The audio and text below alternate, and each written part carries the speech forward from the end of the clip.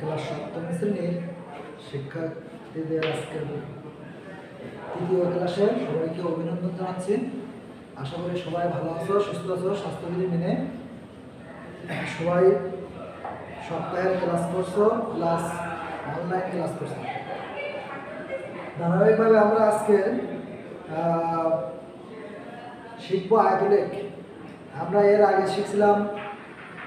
সর্বোচ্চ সংখ্যা সংখ্যা পরিসর শ্রেণীর সংখ্যা নির্ণয়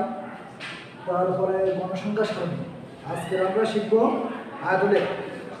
আসো আমরা একটা যে কোনো শ্রেণীব্যাপ্তির আয়তলেখ করব শ্রেণীব্যাপ্তি দেওয়া আছে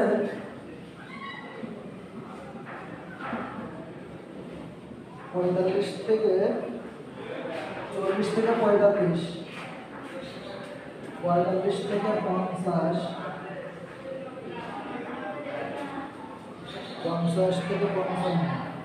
পঞ্চাশ থেকে পঞ্চান্ন পঞ্চান্ন থেকে ষাট ষাট থেকে পঁয়ষট্টি ষাট থেকে পঁয়ষট্টি জনসংখ্যা দেওয়া আছে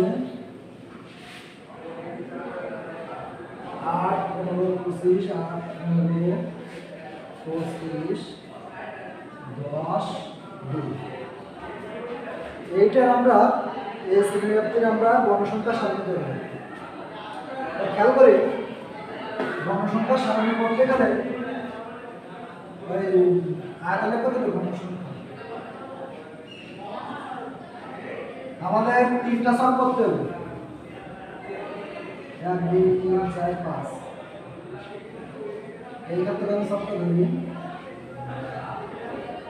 চার প্রথমে দিলাম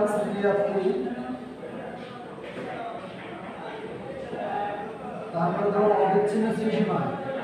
অবিচ্ছিন্ন সীমা এরপর দেবো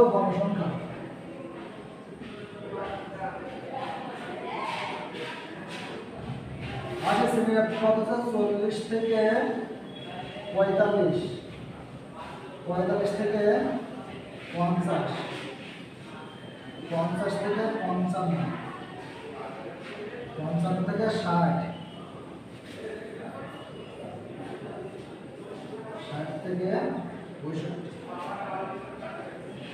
তাহলে চল্লিশ এবং পঁয়তাল্লিশের অর্ধেক মধ্যবিন্দু একটু করে দুই দিয়ে ভাগ করতে হবে তাহলে চল্লিশ আর চল্লিশ আশি পঁচাশি পঁচাশি অর্থে হলো বিয়াল্লিশ গুণ চুরাশি বিয়াল্লিশ পয়েন্ট পাঁচ বিয়াল্লিশ পয়েন্ট পাঁচ আসো আমরা শ্রী ছিল শ্রী সীমানা ধরে আমরা এটা শ্রেণীর মধ্যবিন্দু নির্ণয় করি এটা কি করবো শ্রেণী মধ্যবিন্দু নির্ণয় করবো মধ্যবিন্দু না বললে আমাদের এটা দেখো পঁয়তাল্লিশ অবিচ্ছিন্ন সময়টা হবে না পঁয়তাল্লিশ দুটো একই আছে এর সর্বনিম্ন সীমা আর এর উচ্চ সীমা আর নিম্ন সীমায় একই হয়ে যায় এই জন্য এটা অবিচ্ছিন্ন সময় হবে না তাহলে আমাদের এখানে না বিয়াল্লিশ পয়েন্ট পাঁচ তাহলে পঞ্চাশ আমাদের নব্বই পঁচানব্বই তাহলে বিরানব্বই পয়েন্ট পাঁচ একশো কুড়ি পয়েন্ট পাঁচ একশো কুড়ি একশো পনেরো তাহলে একশো পনেরো মধ্যে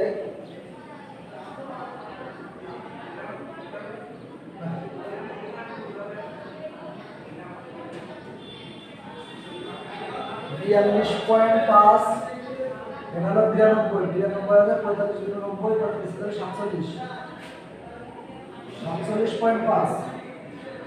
তেতাল্লিশ চুয়াল্লিশ পঁয়তাল্লিশ ছেচল্লিশ সাতচল্লিশ আটচল্লিশ উনপঞ্চাশ পঞ্চাশ এটা তো বান্ন পয়েন্ট পাঁচ সাতান্ন পয়েন্ট পাঁচ বাষট্টি পয়েন্ট পাঁচ এখানে গণসংখ্যা ছিল আট পনেরো পঁচিশ দশ দুই আসি তাহলে এই অঙ্কটার ক্ষেত্রে আমরা শ্রেণীর মধ্যবিন্দু নির্ণয় করবো শুধুমাত্র শ্রেণী মধ্যবিন্দু নির্ণয় করবো দেখবো আমরা যদি এই সংখ্যা এই সর্বনিম্ন সংখ্যা আর নিম্ন সংখ্যা প্রথম শ্রেণীর আপনি সর্বোচ্চ সংখ্যা আর দ্বিতীয় শ্রেণীর আপনি নিম্ন সংখ্যা যদি একই রকম হয় সেই অঙ্কটার ক্ষেত্রে আয়োজন করতে গেলে আমাদের শ্রেণীর মধ্যবিন্দু নির্ণয় করতে হবে যদি ভিন্নতা থাকে এখানে পঁয়তাল্লিশ আর এখানে যদি ছেচল্লিশ হইতো তাহলে আমরা অবিচ্ছিন্ন শ্রেণীসীমা করতাম যাক এই অঙ্কটার ক্ষেত্রে আমরা শ্রেণীর মধ্যবিন্দু নির্ণয় করলাম এখন আমরা আয়তলে আঁকাবো এবং লিখব আমরা ওপরে লাইনটা মুছবো না তাহলে আমরা মধ্যবিন্দু খেয়াল রাখবো প্রত্যেকের মধ্যবিন্দু খেয়াল রাখবো আয়তন এখানে ছটা পাচ্ছি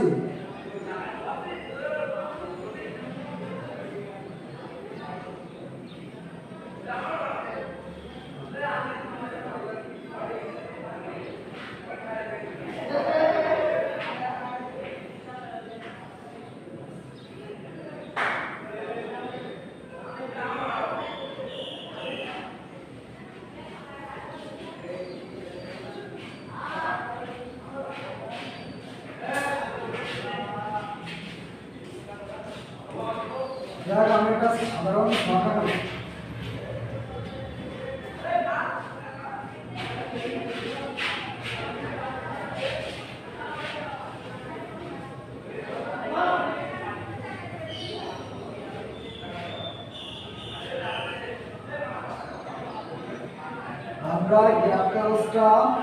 লিখতে গ্রাফ কাগজে করব এই অক্ষকে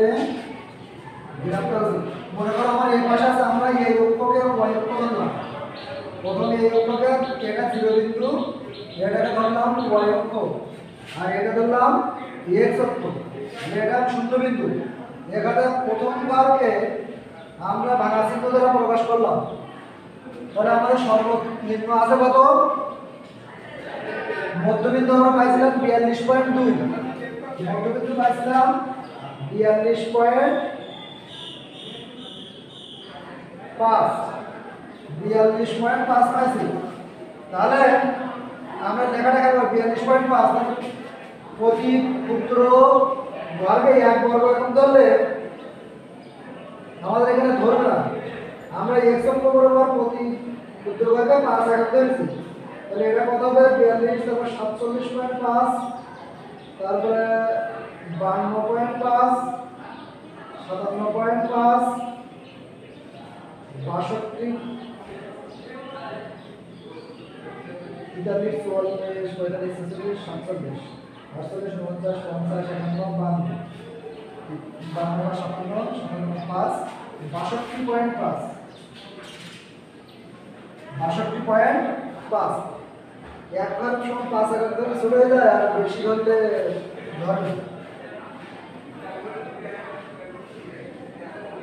মধ্যে আর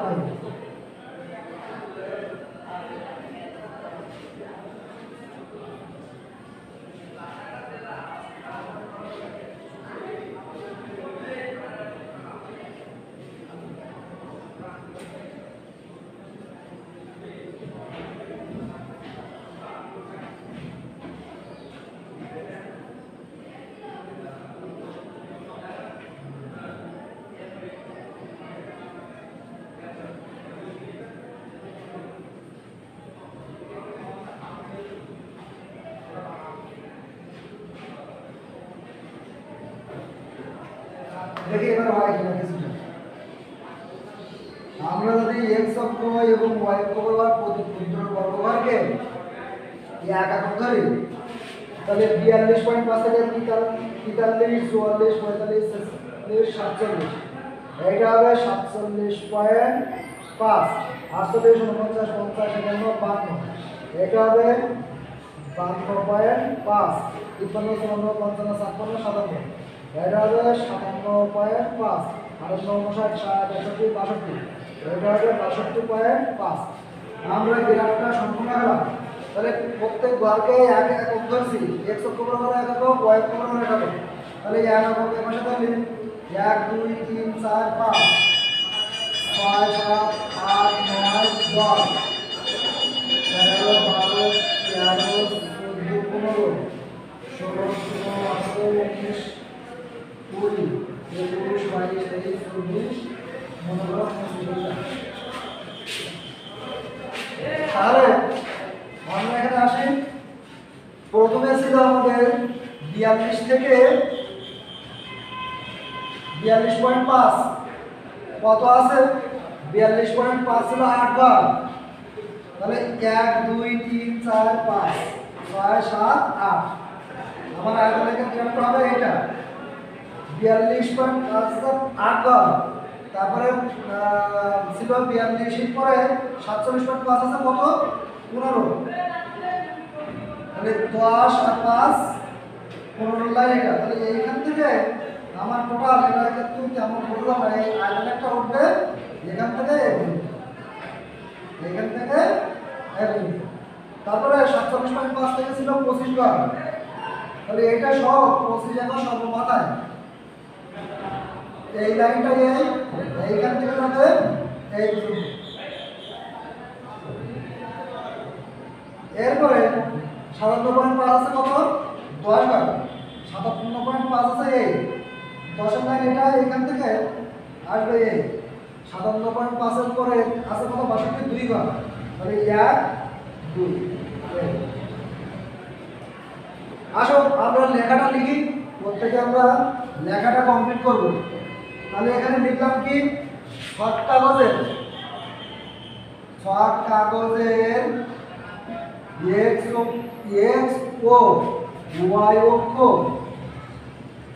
বরাবর প্রতি ক্ষুদ্র ধারকে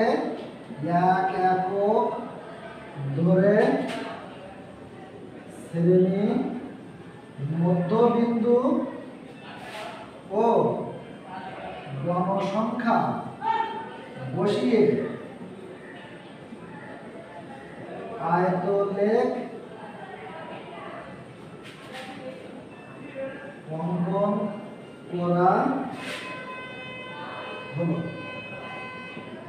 মূল বিন্দু হতে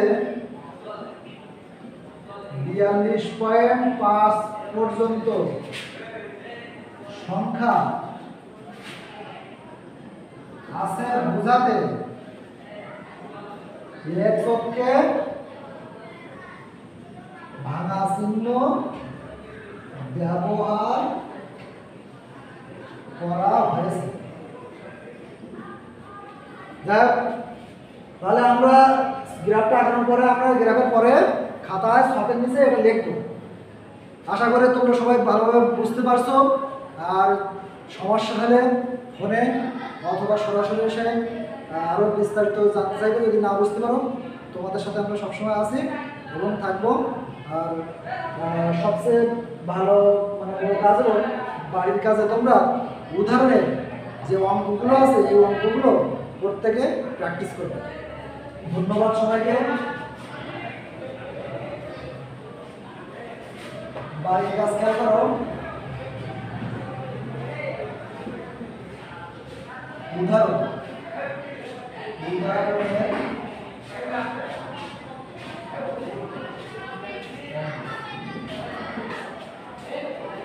সবাই স্বাস্থ্যবিধি মেনে চলবেন বারবার হাতে সমান দিবেন বাড়ির সবাইকে কাজের পরে ভাত খাওয়ার আগে এবং পরে সাবান পানি দিয়ে হাত পরিষ্কার করবে বাড়ি আসা গাড়ি আসলে মাস্ক ব্যবহার করবে আজকে পর্যন্ত আবারও দেখা হবে আগামী আসে ধন্যবাদ সবাই